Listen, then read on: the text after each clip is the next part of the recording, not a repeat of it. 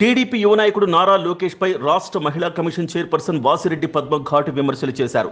YCP ప్రభుత్వం ప్రవేశపెట్టిన దిశ చట్టం యాప్ ద్వారా మహిళలకు పూర్తి రక్షణ కల్పిస్తున్నారన్నారు.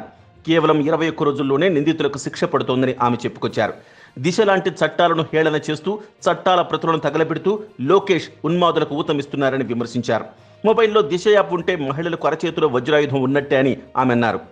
నెల్లూరులో జరిగిన ఘటన చాలా బాధాకరమైన విషయమన్నారు వాసిరెడ్డి పద్మ. రమ్య ఘటనలో వారం రోజుల్లో ఎఫ్ఐఆర్ నమోదైందని ఎస్సీ ఎస్టీ అట్రాసిటీ యాక్ట్ ప్రకారం న్యాయం చేశామని వాసిరెడ్డి పద్మ పేర్కొన్నారు.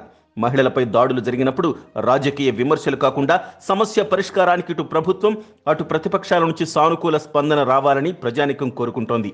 ఆ దిశగా మహిళా కమిషన్ సమన్వయంతో పనిచేయాల్సిన అవసరం ఎంతైనా ఉంది.